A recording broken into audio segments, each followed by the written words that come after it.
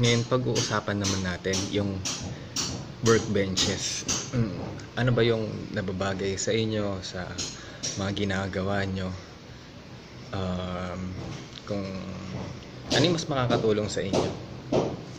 Kapag ano, pag sa beginners, yung mga umpisa pa lang gumagawa, wala pang masyadong tools, puro hand tools pa lang yung yung gamit nila. Mang mas maganda sa inyo yung um, rubo na sinasabi nila. Ito, yung yung style ng rubo ayun yung mabigat eh, yung parang hindi kayang buhatin ng isang tao, isa dalawang tao, mga tatlo bago nyo mabuhat. Ganun siya kabigat. Eh, pero mga dalawang tao. Eh, ito yung sinasabi nilang rubo workbench. Ah, teka, teka. Ayan. Ganyan siya. Maganda yan sa mga beginners kasi sobrang bigat.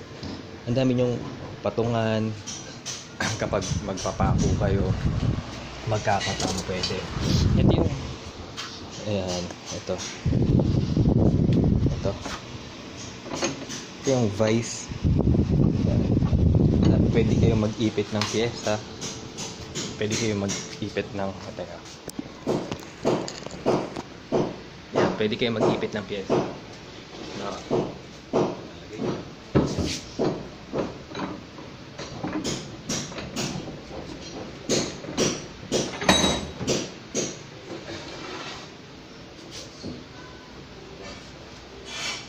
pwede nyong magpako o kaya mag-glue, magkatam. Yan.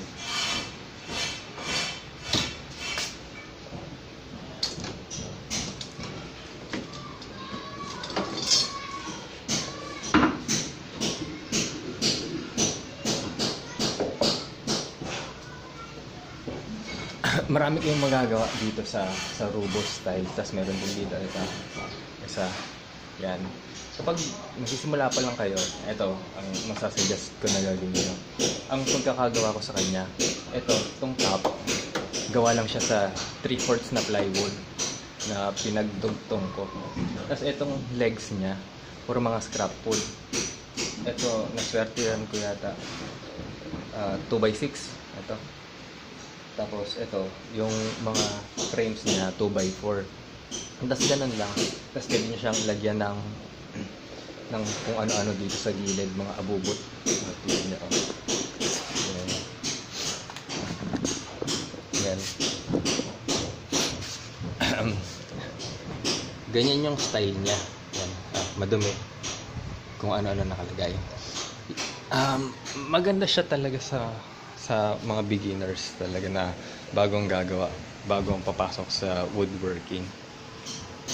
Nga, kasi nga mabigat, tapos hindi siya gumagalaw kapag nag, nagpako ka, pag nag nagmamartilyo ka, o kaya nag-screw. Yan. Walang gumagalaw dito. Yan. May hirapan, may hirapan kayong galawin yan na mag-isa. yan. Ang kailangan lang dito, stable, tsaka kailangan flat. Yung ganito. Kaya sinasuggest ko na um, dalawang 2x3 para hindi na kayo mahirapan. Pagpapatungin nyo lang yun, medyo flat na yun.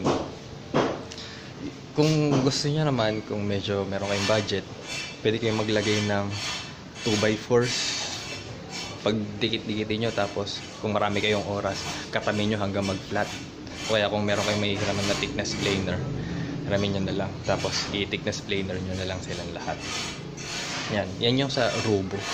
Rubo style. Yan, yan yung parang classical na workbench. Ah, diba? Hmm. Pwede nyo rin siya lagyan ng mga butas. Dito, ito kasing sa akin wala eh. Yan. Pwede nyo to lagyan ng mga butas-butas. Ayan. Para pwede kayong mas, kapag magkaklam kayo na mahaba kasi itong likuran nilagyan ko siya ng ano tail vise. Ito. Tail vise. Pwede kayong mag-ipit mga mahaba. Yung pinakamahabang nakita ko dyan, mga 12 feet yata. Na ano, kay Norm.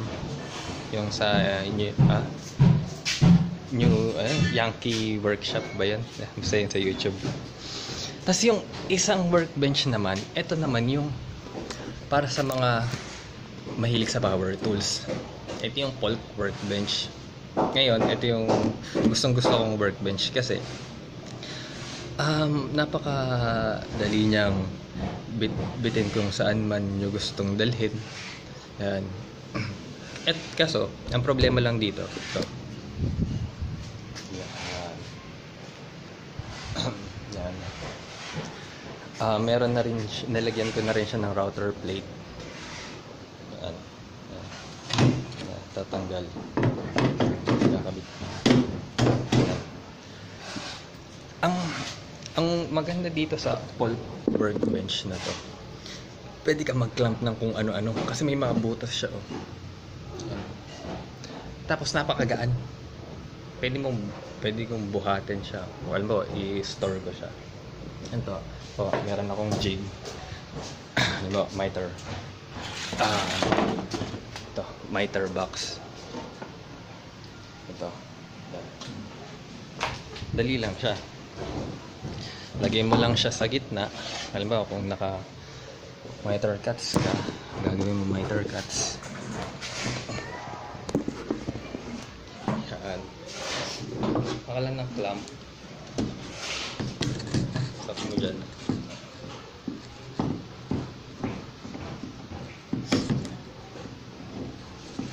Ayan.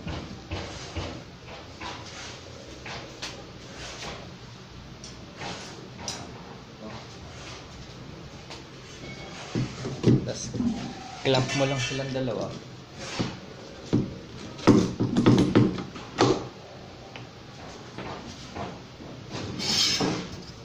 Pwede ka na mag-cut. Halimbawa, ito.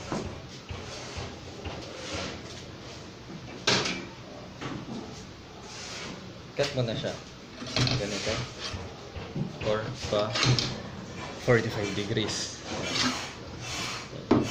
Isa lang ito sa mga pwede nyong gawin sa sa pulp. Marami ma- marami pong pwedeng ilagay eh. Ang isa pa sa maganda rito is walang kalat sa ilalim. Yan.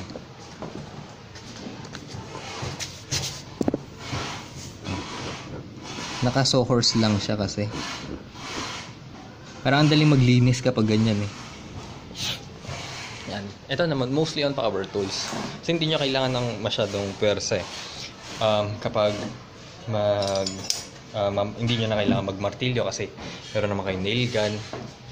Ah, isang kalabit nyo lang. Yan. Uh, Tapos, hindi nyo naman kailangan magkatam kasi meron naman kayong ah, power planers. Yan. Pang panghawak lang siya ng mga pyesa, assembly table. Pakaganda nito para sa isang assembly table. Tapos ang lawak, laki ng ped, ng ah, work surface nyo. Then, Itong ginawa ko kasi is um, 4 4 by 8 kaya yan, isang buong plywood. Ang nagastos kong plywood dito siguro tatlong pirasong ah, one half lang ang ginawa ko para magaan madaling bitbitin kahit ako mag-isa. Kaya kaya kong itabi. Tingnan nyo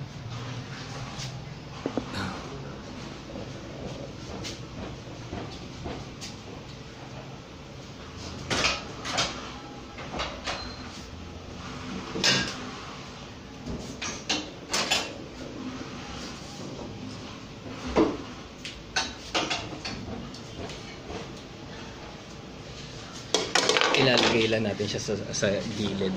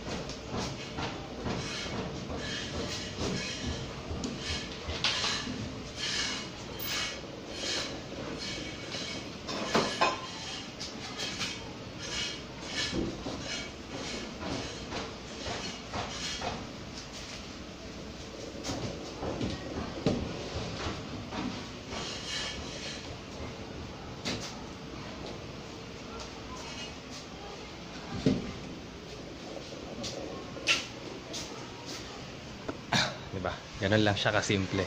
Tingnan niyo yung um, naging surface area namin. Na pwedeng hindi ka magpintura. Yan, di ba? Mas lumaki. Yan, kahit 4x8 yung laki niya, parang hindi mo mararamdaman eh. Kasi pwede mo siyang igilid lang. Sa sulok lang siya.